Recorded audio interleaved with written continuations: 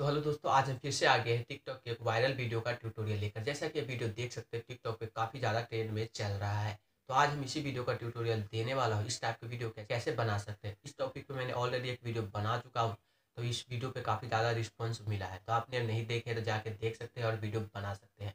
तो आपको वीडियो का डिस्क्रिप्शन में दो वीडियो का लिंक दे दिया गया वहाँ से आपको डाउनलोड कर लेना है। डाउनलोड करने के बाद चलते हैं मोबाइल के होम स्क्रीन पे।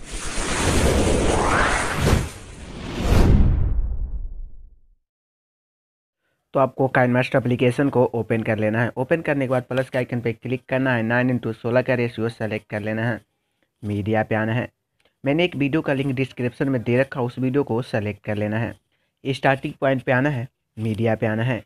जो आपने नॉर्मल मोबाइल फ़ोन से बीट कर रखे हैं उस वीडियो को सेलेक्ट कर लेना है। तो मैंने वीडियो घर पे ही शूट किया था। आप जब वीडियो शूट करेंगे तो आउटडोर वीडियो को शूट कर लेना है। जिसका हमारा यहाँ से स्टार्ट हो रहा है। वीडियो क्लियर पे क्लिक करना है कैची के निशान पे क्लिक करना है ट्रिम टू लेफ़्ट कर देना है। तो हमारा वीडियो फ़र्स्ट पार्ट कुछ इस तरह से शूट किया गया है।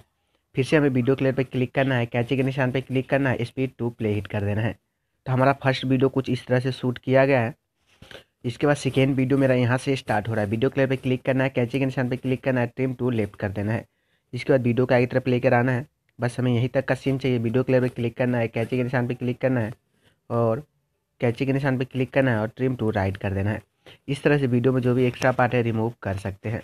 इसके बाद वीडियो क्लियर पर क्लिक करना है, इसे हमें स्लो मोशन कर देना है। तो यहाँ पे वीडियो स्पीड कंट्रोल पे आएँगे, यहाँ पे हमें ज़ीरो पॉइंट फाइव कर देना है। तो हमारा वीडियो यहाँ पे देख सकते हैं अब जो है, हमारा वीडियो स्लो मो हो चुका है। इसके बाद फिर से इस पर क्लिक करना है स्पीड कंट्रोल पे आना है। इसे भी हमें ज़ीरो पॉइंट फाइव कर देना है। यहाँ पे वीडियो हमारा स्लो मो हो चुका है। इसके बाद यदि आपको वीडियो में कुछ एक्स्ट्रा पार्ट है, फिर भी हमें ट्रिम टू लेफ़्ट कर सकते हैं। तो इस तरह से वीडियो में कुछ ज़्यादा पार्ट होगा तो ट्रिम टू लेफ़्ट राइट आप कर सकते हैं। इसके बाद इस वीडियो क्लियर पर क्लिक करना है। कैंची के निशान पर क्लिक करना है स्ट्रैक्ट आइडियो कर देना है। क्योंकि इस वीडियो में जो भी साउंड है, यहाँ पर आपको आ जाएगा। इसके बाद यहाँ तक इसे लास्ट तक लेकर आना है। जो आपने डिस्क्रिप्शन से वीडियो डाउनलोड कर रखे हैं, उस वीडियो में कुछ पार्ट स्टार्टिंग का एक्स्ट्रा है। तो आपको करना क्या है? वीडियो क्लियर पे क्लिक करना है कैचे के निशान पे क्लिक करना है ट्रिम टू लेफ़्ट कर देना है। इस तरह से वीडियो में जो एक्स्ट्रा पार्ट होगा रिमूव हो जाएगा। इसके बाद वीडियो का आगे तरफ़ प्ले कराना है। इसके बाद वीडियो क्लियर पे क्लिक करना है कैचे के निशान पे क्लिक करना है स्पीड टू प्ले हिट कर देना है। वीडियो को फिर से हमें आगे तरफ़ लेकर कराना है। सकते हमारा फिर से यहाँ से वीडियो स्टार्ट हो रहा है। यहाँ पर आपको काफ़ी ध्यान से देखना पड़ेगा।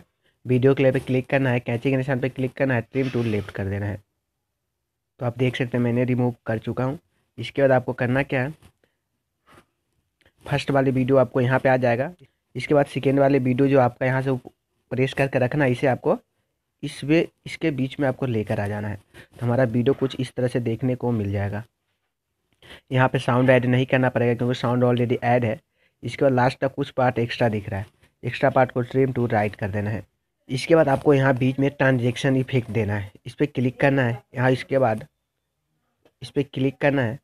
इसके बाद ट्रांजेक्शन इफ़ेक्ट यहाँ पे देना है। तो सिंपल यहाँ पे आपको एक ऑप्शन मिल जाता है, एक्सीलेशन का। क्लिक करना है और यहाँ पे आपको स्पीड आउट कर देना है। इसके बाद फिर से इस पर आना है, एक्सीलेशन पे आना है और यहाँ पे आपको स्पीड इन कर देना है। फिर से इस पर आना है। फिर से हमें एक्सीलेशन पे आना है और यहाँ पे आप